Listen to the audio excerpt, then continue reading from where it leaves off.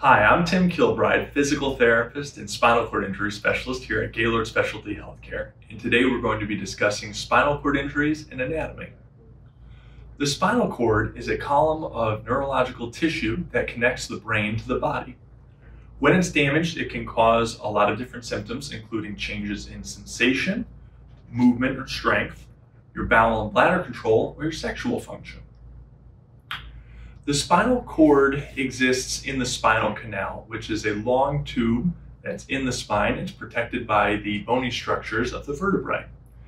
Between each vertebrae, there is a disc which acts as both a shock absorber and uh, adds some range of motion to how the spine moves.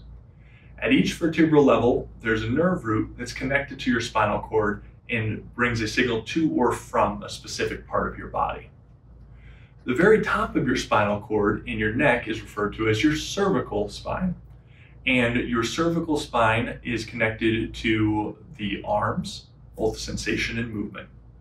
The middle back area of your spine is called your thoracic spine, and the nerves there innervate your chest and belly area as well as your back. Your lower back is referred to as your lumbar spine. The nerves that enter and exit the spinal cord there connect to your legs, and your sacral spine or your tailbone has nerves that control things like sexual functioning and bowel and bladder control. A spinal cord injury can generally fall into two categories. There's traumatic or non-traumatic. Traumatic spinal cord injuries usually result from damage to the spine, which causes uh, pressure or damage to the nerves. Non-traumatic are generally from a disease process of some sort, like transverse myelitis. When looking at a spinal cord injury or disorder, um, we start to try to determine which parts of the body are functioning and which parts need to be adapted around. That generally depends on where in your spinal cord you're injured.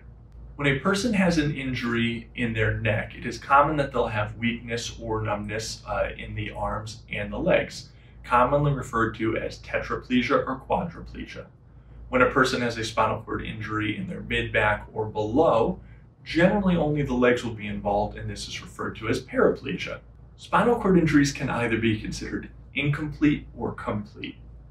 If you have an incomplete spinal cord injury, it means that you have some messages that are making it from the brain to the body or from the body to the brain past the injury. This generally means you can have some sensation, some movement, or some of both below your level of injury. If you have a complete spinal cord injury, this means that you have no movement or sensation below your level of injury.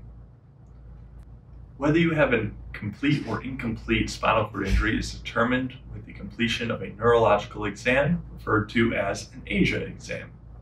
An ASIA exam assesses both your strength and your sensation to determine the nature of your spinal cord injury.